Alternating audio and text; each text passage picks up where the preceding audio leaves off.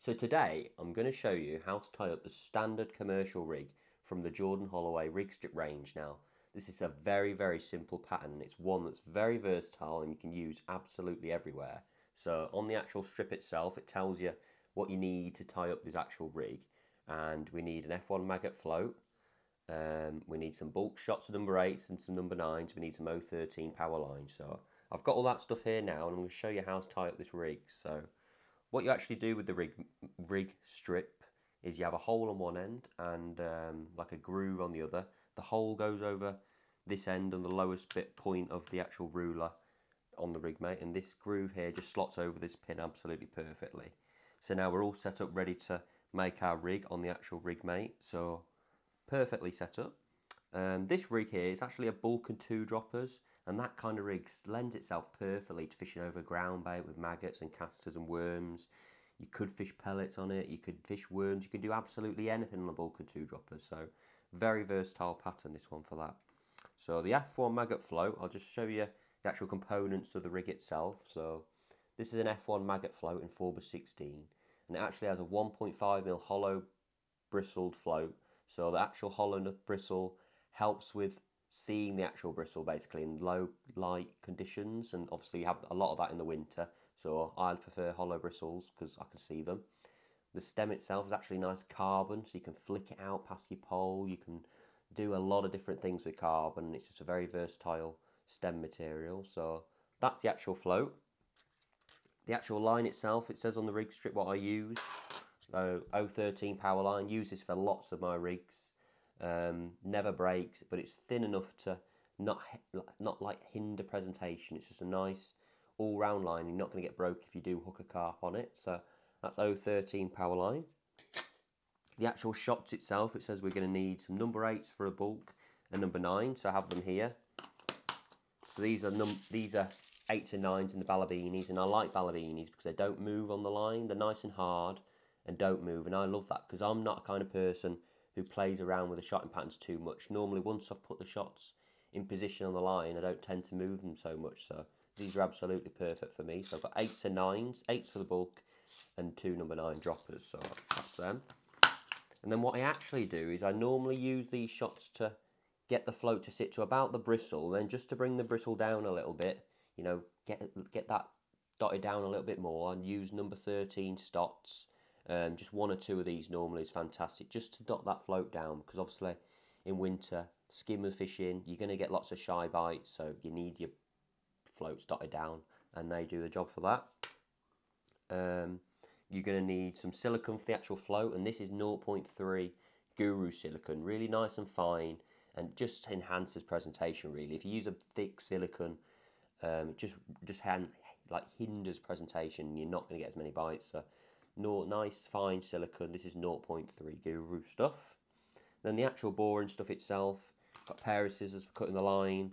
We have some pliers from Preston for putting the shots on. Never like to use my teeth to do that because obviously you can damage your teeth and you don't get your shots sitting as nicely in the bulk as you do with a pair of pliers. So that's them.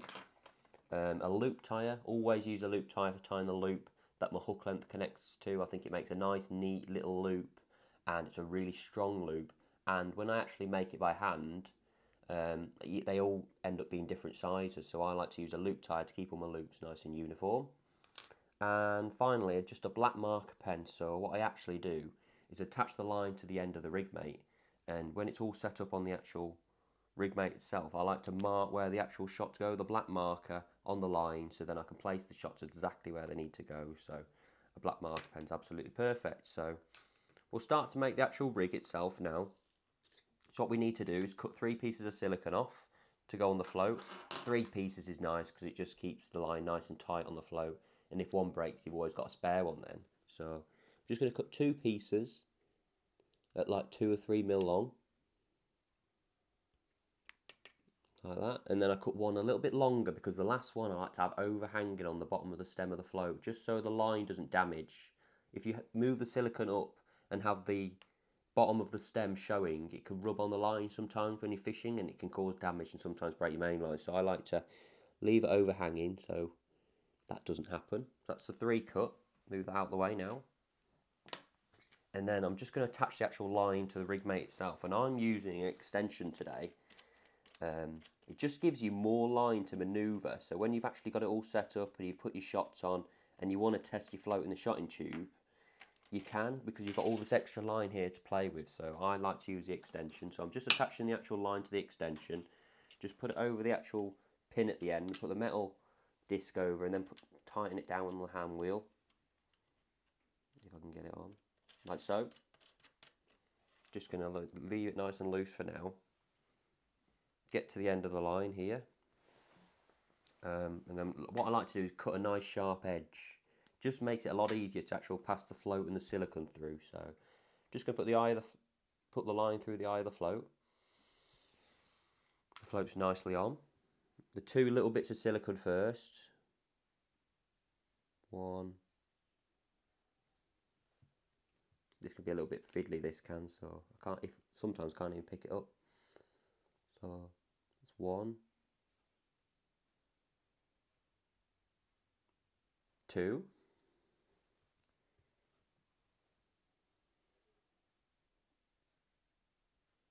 that's number three.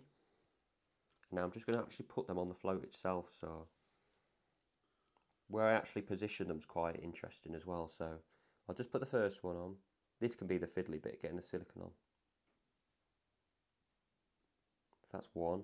And I don't push it this right beneath the body. If you push this right beneath the body it can cause the line to dig into the actual body and you can damage the body and when you are playing big fish under pressure, if it pulls out, sometimes you can rip your eye out. So I like to leave that silicone just a little bit down from the body, just to relieve the tension on that on that body and on that line. So just move it down about about a centimetre below the actual body of the float is where I like to have the first silicone.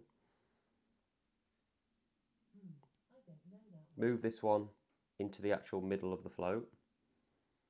Obviously to keep the line nice and straight on that float and then this last one this longer piece I just leave that overhanging a little bit just to obviously not cause any damage whereas if you push that up and have the stem showing it, the line can rub against it. So I always have that little bit there just overhanging. So now we've got them to float nicely on the line. Just going to move him up there out of the way. What I actually do now is actually make my loop that I'm going to attach my hook length to later on. So what I actually do is just form a loop in the line and pinch it together and then get my loop tire get this finger here and I'll put it in the middle of that loop. So it creates a nice tight two pieces of line here. And then get my loop tie and put it underneath and just go twice spin it twice. So now I'm going to form a double loop of some sort. Put the actual loop it's created on this finger in the actual crook of the actual loop tie and just let it let it all tighten up now basically. Wet it up so it forms a nice stronger knot. And then just slowly work its way off the actual loop tie like so um, and then it just falls in this little bit here and then I've got a nice formed loop. I'm just going to pull them nice and tight now. So I've got my nice loop for my actual hook length to be connected to and this is where I always like to place my last dropper as well so that's always good. Trim them off trim them nice and tight. So now what I'm going to do is attach it to the actual rig because now it's time to put the shots on the line. So what I actually do is get this loop and put it on the bottom pin down here like so. Nicely locked. And now I'm just going to tighten this back up, tighten the line nice and nice tight line now. It makes it a lot easier to put the shots on. So I'm just making this line from this pin to the actual spool nice and tight. I'm just going to move this hand wheel down now and just tighten him up. Like so. The line is nice and tight now. And what I was talking about earlier with this black marker pen now is I get my fingers, I move it along the line on the actual rig mate, like push the line down on the strip and then when it gets to where the droppers are and where the bulk is, just mark it with a black marker pen. So there's one here by that loop, so it always is on my rigs. There's one here, a bit further up. And that's where the bulk is. So now we're ready to put the shots on.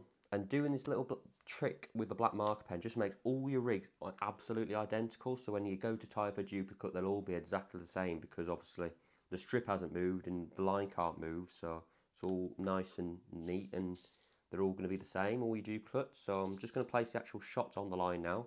Just going to use my pliers.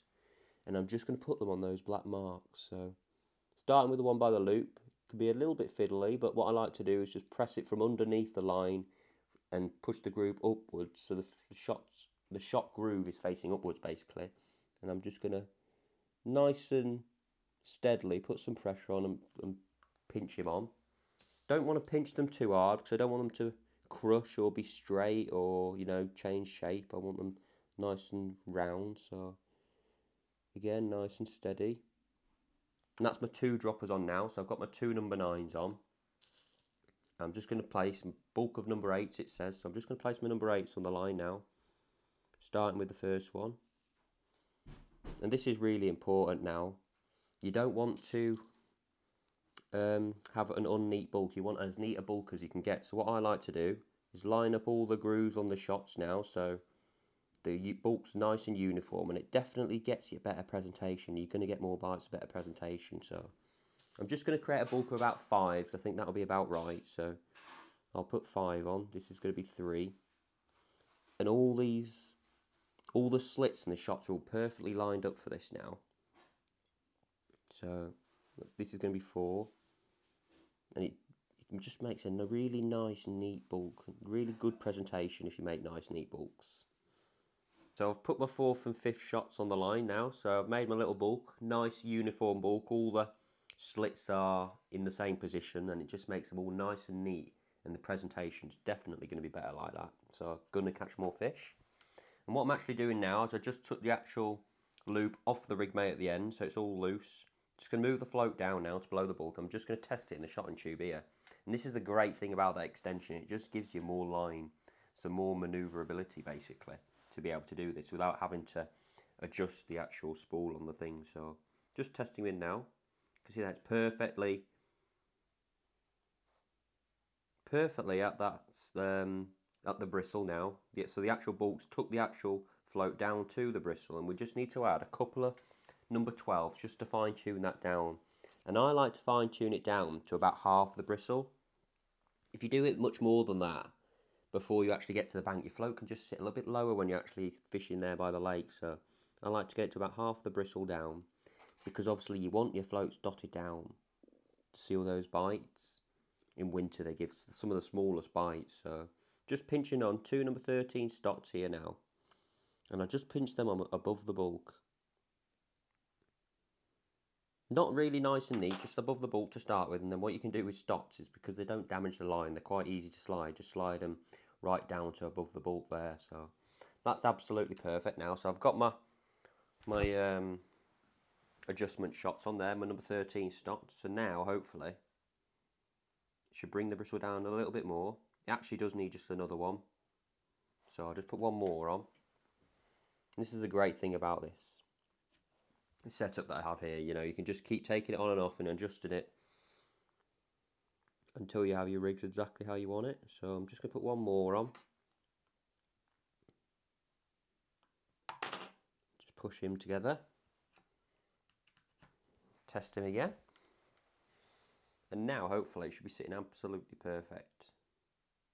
Perfect. You can see that now. It's just sitting about half of the bristle under the water. And then when I start fishing, it's either going to sit a little bit lower or it might just sit the same. And if it does, all I can do on the bank is just add one more number 13 on. So that's a good starting point for me. So the rig's ready now to basically wrap on the winder. So I'll just put this down here, loosen the actual spool on the end of the rig mate, like so. And we'll just wrap him round, wrap him round the winder. This actual shotting pattern itself, I don't use in anything over like a top kit's depth of water. And I know about 15 turns of this wind will be just over a top kit. So I'll do 15 winds. That's one, two, three. Put the float nicely in the middle of the winder so it doesn't get damaged.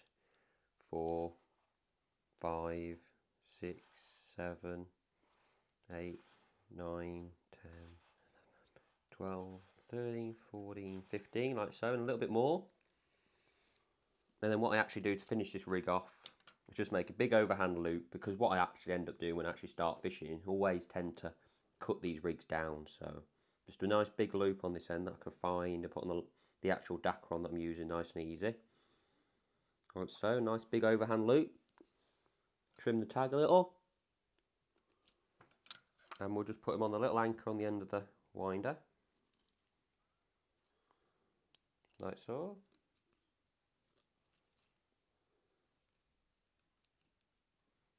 Yeah, so that's the actual rig itself finished now. So that's how to tie the standard commercial rig. And actually with this rig itself, the actual strip tells you exactly what hook length to marry it up to. So here it says a 4 inch hook length of AccuPower 010 and an 18 SFL hook. So gives you great little um, tips on how to tie your rigs up. And yeah, that's how to tie the standard commercial rig using the rig strip.